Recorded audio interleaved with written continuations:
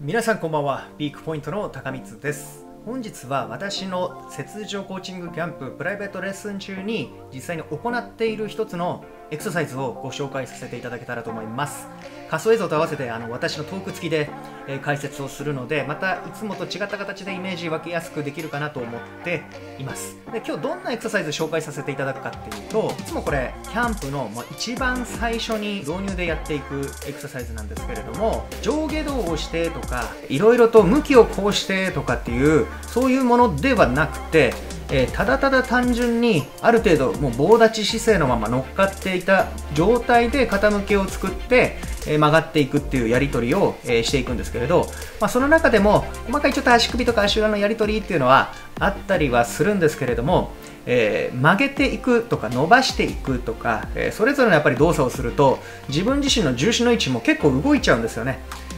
っていうのを動かさないでその場に糸止めさせてあげながら傾く傾くっていうことでエッジで削った雪の壁の上にま重心乗せてたいっていうのをできる限り固めてただ保つっていうような、えことをやりやすくするためにこのエクササイズは、えやっています。なので結構キャンプとかで、えやっていく上ではいろいろな動作とかっていうのを組み合わせていく前に、えやっていきます。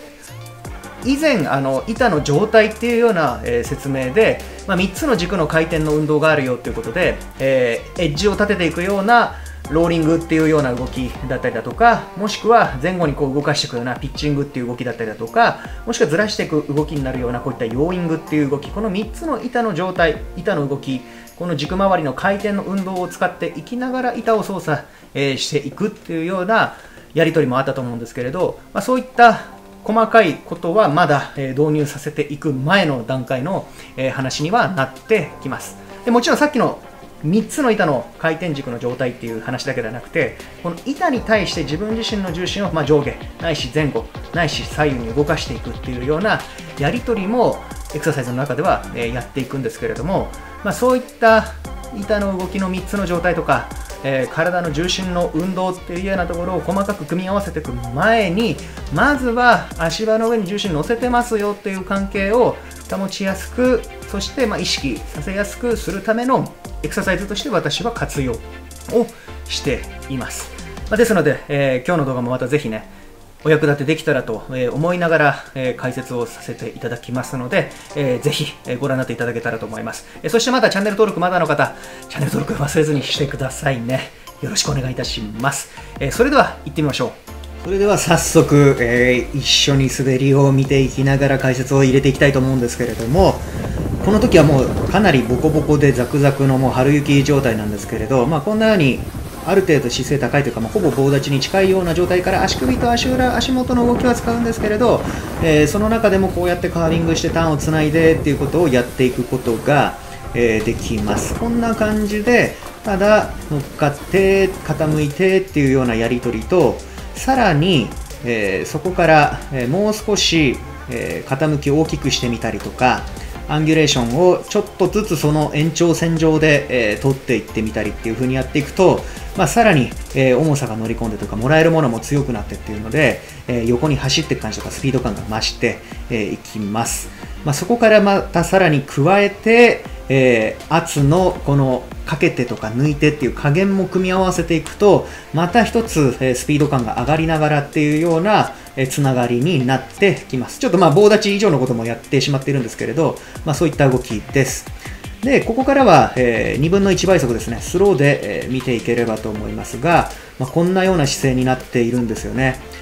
こんな感じで乗っているとなんかそんなにいっぱい曲げてちっちゃくなってるっていう風には見えないですよね。こうやって姿勢高めの状態で、まあ、腰の位置、まあ、重心の位置ですねをエッジで削った雪の壁の上に乗せ続けて乗せ続けてっていうやり取りを、えしています。両足とも同じ動きをしているかといったら、まあ、そういうわけではないんですけれどもとりあえずこの今、えーご覧になっていただいているような姿勢で、えーある程度、ま、伸びているというか高めの姿勢というか棒立ちに近いこういった姿勢の中でも重心さえ乗せればこうやって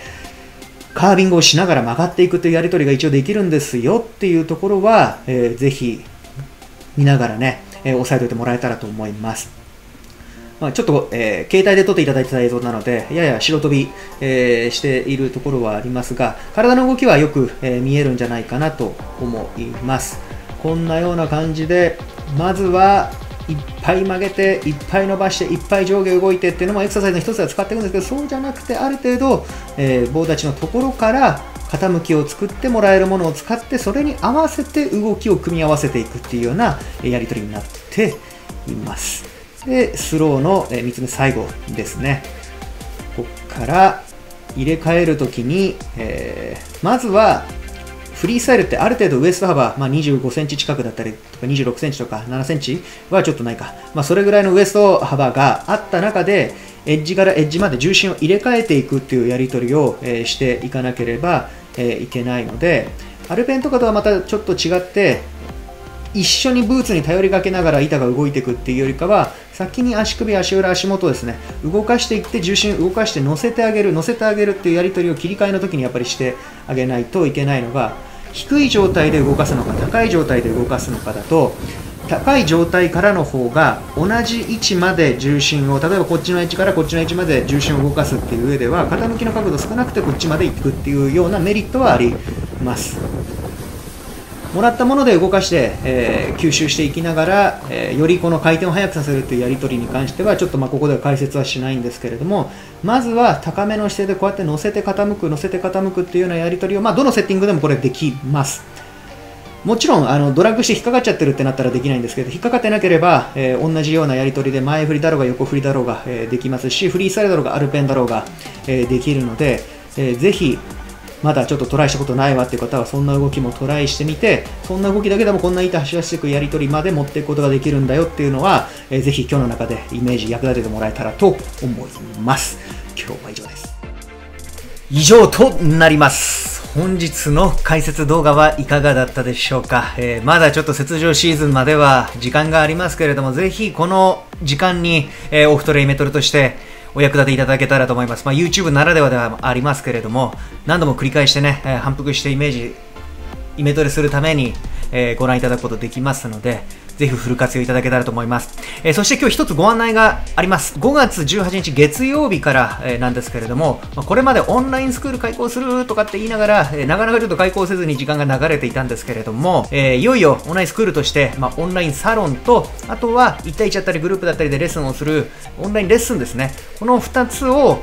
始めていきたいと思います。で、早速5月18から、え、募集をさせていただきます。どういうことをやっていくかって言ったら、オンラインサロンなんですけれども、これはまあよくビジネス系だったりだとか、エンターテインメント系だったりだとか、いろいろあると思うんですけれども、まあ、スノーボードとして、えー、やっていく流れを、一応2013年ですかね、えー、4年かなの時に、えー、初めて、えー、Facebook でグループのコミュニティ作りながら運用はさせていただいたり、パーソナルウェブコーチングって言って1対1でコーチングしながらっていうのをワンシーズンフォローしてっていう風な形では、えー、やらせていただいてたんですけれども、まあ、そういった、まあ、前進があった上で、まあ、ようやっとの2020年、えー、始められることができるんですけれども、まあ、一つのコミュニティとして、まあ、メンバーでいろいろ問題課題共有していきながらその動画を撮ってとかその記事を書いてっていうのをサロンメンバー限定で、えー、拝見いただけるものとか今やっぱりこうやってライブでいろいろできる、えー、コンテンツっていうか機材デバイスっていうのが、えー、使えるようになってきたので、えー、ライブトークをしたりだとか、まあ、たまにはオンライン飲み会みたいなものもやったりだとか、もしくはライブフィットネスっていうことで、えー、まあ、定期的に月、大体ライブ系に関しては2回ずつぐらいにはなるんですけれども、えー、そういった形で、ライブでいろいろとトークをできる時間とかっていうのも設けていきながら、体を動かしていく時間っていうのも設けていきながらやっていければと思います。こちらはサブスクリプション、月額制で運用していきますので、え一時募集としてはえ30名限定で募集をさせていただいて、まその中でやらさせていただければと思います。定員まで足した後のま二次募集とかっていう風になってきた時にはまた金額が変わってったりだとか、えそういったところの部分もありますので、その点に関してはご了承いただけたらと思います。サロンにえ関しては、まあ、ぜひ今までちょっと独学でとか独自でいろいろやってきたけどどうしてもちょっと壁にぶち当たってしまったとかっていう時とかもしくはなんかこれからどういうことをやっていけばいいのか取り組んでいけばいいのか通年を通してっていう中での、まあ、知識だったり情報だったりのアップデートだとか、まあ、それをぜひ、えーと、ご自身だけではなくて、まあ、お子さんにもフォローして使ってあげたりだとか、まそういったような形でいろいろ活用の仕方はあると思うんですけれども何か、えそういった情報や知識っていうのに、え常に触れていきながら、えまあ、スノーボードのことを年がら年中考えるってことになってしまうとは思うんですけれども、まあ、このスポーツを、え僕としても障害スポーツで楽しんでいきたい、えそしてそれを長く続けていくにあたっていろいろと大事なことっていうのは、まあ、ただがむしゃらにやればっていうだけじゃなくてやっぱり怪我だったりだとかそういった予期せぬことっていうのは、えどうしても起こってしまうことがあります、まあ、そういったものを予防していく。ためにだとか少しでもより楽しめるようなパフォーマンス向上のためにっていうようなお手伝いがサポートができればと思いますので、ぜひ、オンラインサロンでも皆様と一緒にスノーボードのことを考えながら、楽しんでいく時間にできたらと思っております。レッスンに関してはえー1対1ないしグループでレッスンを実際にやっていくんですけれど、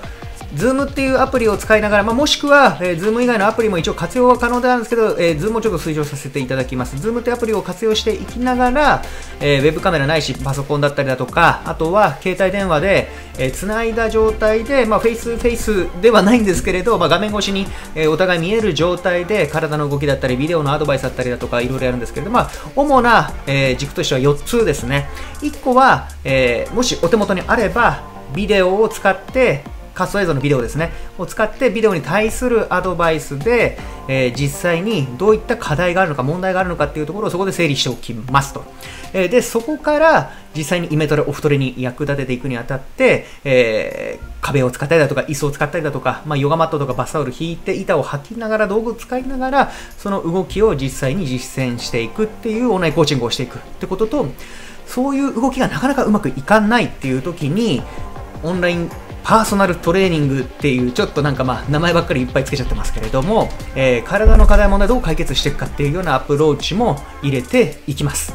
で最後はその Zoom でやった映像ですね。を録画しておきますので、えーそのデータを、えーご覧いただけるようにお渡しするというようなところまでフォローをさせていただきます。まあ、ですので、えーレッスンで行ったことを何度でもまた振り返りながらご活用いただけますので、えーぜひそういった形でオンラインレッスンは活用いただけたらと思います。やっぱり何もこう意識するべきポイントがわからないとか、わからないことがわからないとか、そういったことってたくさんあると思うんですよね。あらかじめやっぱり何をやっていくべきかとか、方向性だとか、その取り組みっていうのが、ある程度クリアになっていけば、自分でも気づきやきっかけっていうのがたくさん生まれてくると思います。ぜひそういった形で、このオフの時間をご活用いただくために、有意義に使っていただくために、オンラインレッスン受けていただけたらと思います。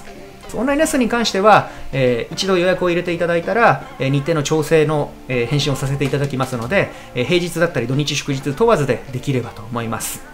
早速、まあ、5月18日からえー募集を開始させていただいて、やっていければと思います。ちょっと告知というか、プロモーションになってしまったんですけれども、あのぜひ、えこれからも YouTube のこの配信も含めてですけれども、一緒に楽しんでいくことができたらと思います。引き続きよろしくお願いいたします。それでは、え今日はここまでです。また次回も楽しみにしていてください。ありがとうございました。